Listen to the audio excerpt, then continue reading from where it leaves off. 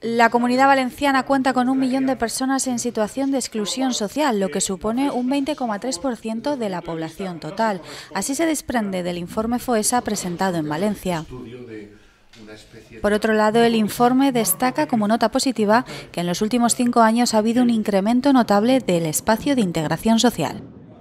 La presentación tuvo lugar en la sede de Cáritas Diocesana de Valencia, en la que el sociólogo Guillermo Fernández Maillo, coordinador también del equipo de estudios de Cáritas Española y de la Fundación Foesa, destacó la sensación de fatiga de la solidaridad y de la compasión por parte de la sociedad. Vivimos en un claro momento de mutación social, un tiempo donde las brechas que se han producido entre nosotros, como la desigualdad, la debilidad de los sistemas de gobernanza globales, o la erosión de las instituciones públicas, o inclusive a veces la gestión insolidaria de la crisis,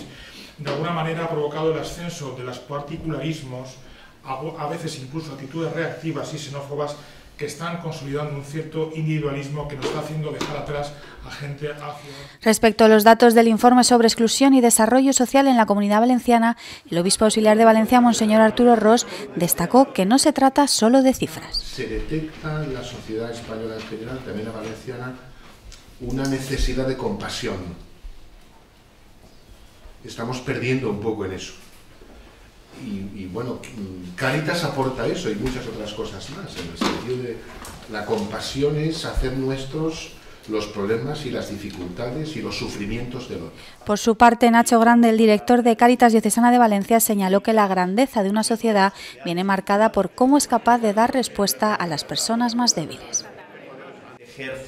sociedad volver a vincularnos y de una manera clara y contundente trabajar también de manera coordinada y conjunta con todos los actores que forman parte de nuestra sociedad, como por ejemplo las administraciones públicas. El informe también apunta que la exclusión social se ha reducido intensamente en estos últimos cinco años, pero se encuentra enquistada en la estructura social de la comunidad como en el resto de España.